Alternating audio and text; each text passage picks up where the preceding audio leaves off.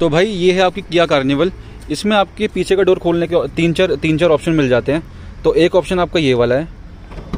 यहाँ पे आप इसको प्रेस करोगे तो ये ऑटोमेटिकली पीछे चले जाएगा। एक ऑप्शन आपका ये वाला है। अगर आप इसको यहाँ से यहाँ से प्रेस करोगे तो ये ऑटोमेटिकली क्लोज हो जाएगा। ये हो गया आपका बंद। तीसरा तरीका और बता देता हूँ आपको मैं। यहाँ पे आप इसको फ्रंट की तरफ़ स्लाइड करोगे तो यहाँ से भी आप इसको आराम से बंद कर सकते हो। और यहाँ से आप खोल भी सकते हो। और आपका ये वाला बटन भी काम आ सकता है खोलने में। और भाई एक आपका फीचर मिल जाता है यहाँ से। यहाँ पे आप इसको प्रेस करते हो तो ये देखो ऑटोमेटिकली क्लोज हो जाता है। शानदार भाई, शानदार।